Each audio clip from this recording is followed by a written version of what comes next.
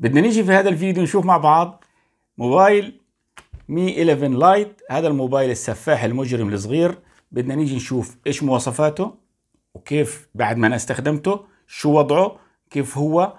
بالنسبة له إنك تشتريه ما تشتريهوش وعيوبه ومميزاته كل حاجة عنه. like اشتراك فعل الجرس عشان يصلك كل جديد. وهيا بنا إلى الفيديو. تكنولوجيا الموبايل عالم واسع وهذا العالم بحاجة إلى مواكبة. إيهاب تيفي تقربك أكثر. فكن على قرب منا.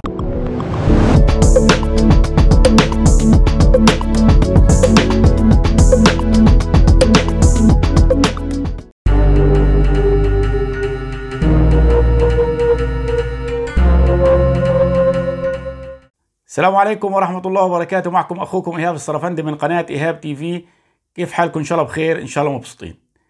اليوم إن شاء الله بدنا نيجي نعمل عملية مراجعة كاملة وشاملة وشافية ووافية بخصوص هذا الجهاز السفاح الزغنول الصغير هيك شايفينه أحلاه له كل حاجة عنه. أول حاجة خلينا نبدأ في التصميم. كتصميم الموبايل تصميمه لا يختلف عليه اثنان. تصميم رائع صغير وحلو وزنه 157 جرام. أول مرة أشوف جهاز بوزن هيك. بالنسبة لظهره من الزجاج الجهاز عليه طبقة حماية Gorilla Glass الجيل الخامس. بيجي في الأسفل شاحن ال Type-C مع مايك أساسي بيدخل في الجهاز شريحتين أو شريحة و memory. ما بيدخل عليه شريحتين و memory يعني له مدخلين للشريحتين أو شريحة و memory. عندنا سماعة في الأسفل وعندنا سماعة في الأعلى. السماعتين هذول طبعا طبعا السماعة اللي في الأعلى بتعطيك ستيريو. الاستيريو الموجود هنا استيريو رهيب جدا استيريو حلو استيريو من يعني الأجهزة الفريدة بالنسبة للستيريو كأنه flagship. على عهدي على ديني على أرض تلاقيني. أنا لأهلي أنا أفديهم.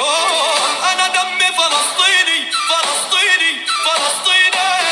أنا دمي فلسطيني.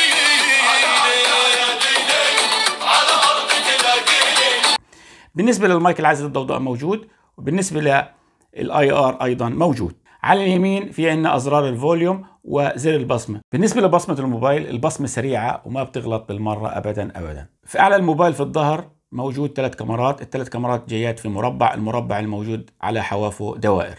مع flash LED ثنائي. وعندنا في ظهره مكتوب كلمة شاومي بال English. طبقة الحماية Gorilla Glass الجيل الخامس المطلي في هذا الجهاز للخدش والحماية. والجهاز بيجي عليه سكرينة من الشركة رأسا. سمك الموبايل 6.8 السمك والوزن فيش عليه خلاف ولا يختلف عليه. اثنين نيجي للشاشة. شاشة الموبايل شاشة رائعة شاشة AMOLED شاشة حلوة ألوان مشبعة بتدعم مليار لون. والألوان بتعطيك ألوان حلوة كتير كتير. بالنسبة لانك تشوف الشمس هتشوفه حلو كتير كتير. والشاشة بتدعم HDR 10 والشاشة فيها 60 و90 هرتز. تقييمنا للشاشه 10 على 10 طبعا في الفئة السعرية هذه ما فيش شاشة اجت زي هذه الشاشة ال Mi 11 Lite. كاميرات الموبايل الخلفية 64 ميجا بكسل فتحه عدسه 1.8 هذه الكاميرا الأساسية. ومستشعر من سامسونج GW 3 والكاميرا ال ultra wide 8 ميجا بكسل بفتحه عدسه 2.2 من سوني IMX 355 والكاميرا الثالثة 5 ميجا بكسل لل macro العزل مع flash LED ثنائي. بالنسبة لتصوير الفيديوهات الموبايل بيصور فيديوهات في الكاميرا الخلفية 4K لعند 30 frame وبصور فيديوهات في الكاميرا الأمامية. وبالنسبة للكاميرا الأمامية 16 ميجا بكسل وبصور فيديوهات 1080 60 frame. طبعا الموبايل بيدعم NFC والموبايل بيدعم تصوير فيديو مزدوج وبيدعم التقطع الزمني وبيدعم حركة بطيئة وبيدعم تصوير الليلي. بالنسبة لأداء هذه الكاميرات أداء هذه الكاميرات أداء فوق المتوسط يعني بالنسبة لو بدنا نقارنه بين أداء الكاميرات هذا وأداء كاميرات ال Redmi Note 10 Pro. أعلى من Redmi Note 10 Pro بشيء بسيط. بالنسبة لتصوير الفيديوهات في ال 4K بيدعم التثبيت اي اي اس واترككم الآن مع تصوير الكاميرات حتى تشاهدوها. وهذا تصوير ال 1080 مع التثبيت اليدوي. شايفين الصورة كيف؟ يعني بهز فيها. فيش اهتزاز. يعني ماسكة حالها الصورة. تمام؟ الصورة حلوة ولا مش حلوة؟ كيف أنتم شايفينها؟ طبعا هذا تصوير ال Mi 11 Lite 4K شوف الاهتزاز كيف الاهتزاز. بالنسبة لي طبعا الجهاز فيه ال EIS اللي هو التثبيت. ممكن التثبيت تحط التثبيت اليدوي كمان بس بصير لعند 1080 مش ال 4K زي ما أنتم شايفين كيف الصورة الصورة الشمس. وهذا تصوير الكاميرا السيلفي. الكاميرا السيلفي هاي الزاوية تبعتها. أنا مادد هيني إيدي يعني الزاوية مش ضيقة على الآخر ولا واسعة أصلا متوسطة.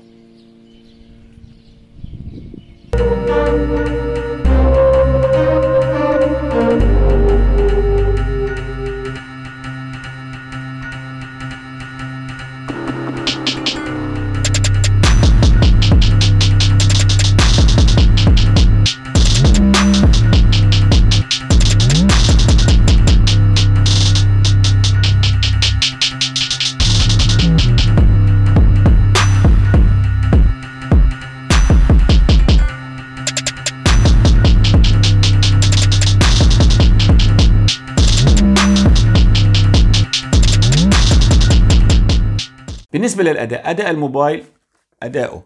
المعالج طبعا الموجود عليه نفس معالج ال Redmi Note 10 Pro نفس المعالج ال Poco X3 NFC المعالج 732 G من Snapdragon هذا المعالج بيعطيك أداء كويس ولكن في جهاز ال 11 Lite يعطيك أداء أداء كويس وأداء في الألعاب أداء محترم ولكن في هنا الجهاز بيسخن علشان الجهاز أصلا رفيع واصلا ظهره من الزجاج فلذلك انت هتشعر في السخونة ولكن الأداء لا يتأثر. بالنسبة لل 90 هرتز الموبايل يعني بيدعم 60 وبيدعم 90 هيدعم لك في الألعاب لعند 90 هرتز. طبعا هيدعم 90 هرتز لكن مش في كل الألعاب لكن المعالج بيقدر يعطيك أداء مستقر لعند 90 هرتز للشاشة هذه. بتيجي بتيجي تقول أنا في عندي Redmi Note 10 Pro وعندي وعندي ال Mi 11 Lite وعندي ال Poco X3 Pro يعني نفس المعالج ولكن هنا في 120 هنا 90 ولكن هنا كان 120 شاشة لكن الشاشة الموجودة عندك IPS وال 120 G المعالج ما بيقدر يعني يوصلك لعند ال 120 هرتز بالنسبة لحاجات كثير ولكن الشاشة بتدعم 120 هرتز بدها لكن المعالج لازم يؤدي الأداء لعند 120 هرتز. ما بينفعش إنها تدعم 120 هرتز. زي ما أنت تيجي تشتري سياره فيها العداد السرعة لعند 220 لكن المحرك ما بيدعم لعند سرعة مثلا 220 بيدعم مثلا لعند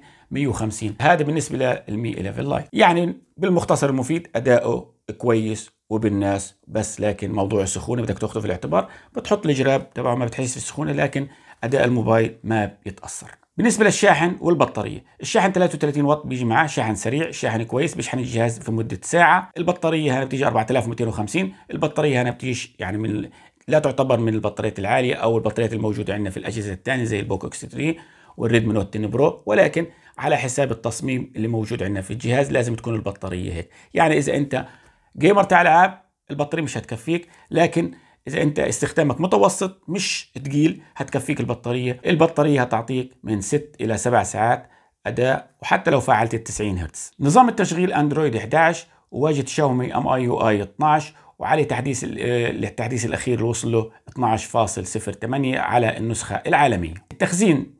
التخزين وال RAM بالنسبة للتخزين بيجي عليه 128 على 6 أو 128 على 8 ونوع ال RAM ال LPDDR 4X ونوع التخزين UFS 2.2 يعني في الفئة السعرية هذه طبيعي إنه يجي في 2.2 يعني نيجي المحصلة النهائية. تصميمه حلو شاشته رائعة. بالنسبة للمعالج معالج فئة متوسطة اللي موجود عندنا. يعني مثل الأجهزة اللي ذكرناها من Redmi Note 10 Pro وال Poco X3 Pro. يعني إحنا كنا ممكن نتوقع إنه يعطينا معالج أعلى. إحنا شاومي صارت تطمعنا في القضية اللي هو المعالجات والأشياء الأخرى. الشاشة 90 هرتز بتكفي. 90 هرتز ما فيش داعي انها تحطها 120 هرتز. يعني هنا عندك 90 هرتز 90 هرتز حقيقية. بالنسبة لعيوب الموبايل العيب اللي أنا يعني يعني بحبش هذا العيب اللي هو بحطوش مدخل السماعة 3.5 ملم لأنه هذا الجهاز أصلا فئة متوسطة مش فلاج شيب هو معتبرينه فلاج شيب هو الأخ الأصغر للمي 11 بخصوص شريحتين بس بيركب له فيش ذاكرة خارجية لا تشيل شريحة من الشريحتين هذا يعتبر عيب. والبطارية مش أعلى بطارية موجودة في الفئة هذه كمان على حساب اللي هو التصميم. هذه العيوب اللي أنا ذكرتها هذه العيوب هي الملخص العيوب اللي موجودة في هذا الجهاز وطبعا العيوب على حساب أشياء أخرى. بدي أجي أنا أقول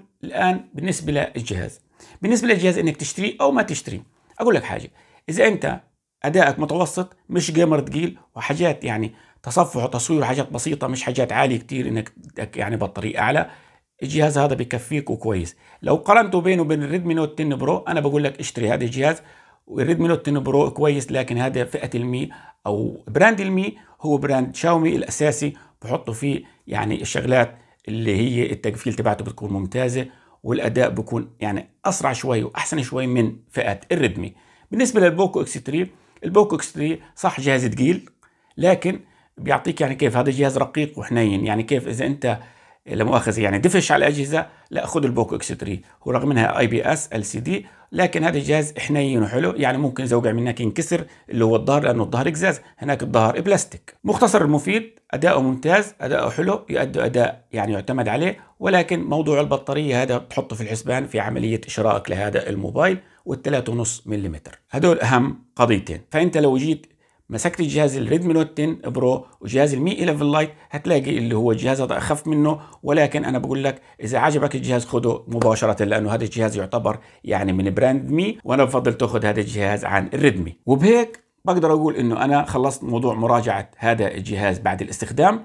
أي واحد بده أي سؤال وأي واحد بده تحديثات وبده أي سؤال ممكن ينضم معنا على قناة أو على مجموعة التليجرام الرابط أحط لك إياه في صندوق الوصف وموجود هتلاقيه إن شاء الله في أول تعليق. وإن شاء الله في الفيديوهات القادمة هعملكم بينه مقارنات وبين موبايلات تانية حسب ما أنتم بدكم وإذا بدكم أي شغلة بالنسبة للمقارنات اكتبوا لي إياها في التعليقات وأنا أعملكم إن شاء الله المقارنات في القريب العاجل. بهيك الفيديو خلص. بتمنى إنه يكون الفيديو عجبكم وإنكم استفدتوا من هذا الفيديو. لا تنسى اللايك والاشتراك في القناة وتفعيل الجرس علشان يصلك كل جديد. نلتقي في فيديو جديد. والسلام عليكم ورحمة الله وبركاته. Selam.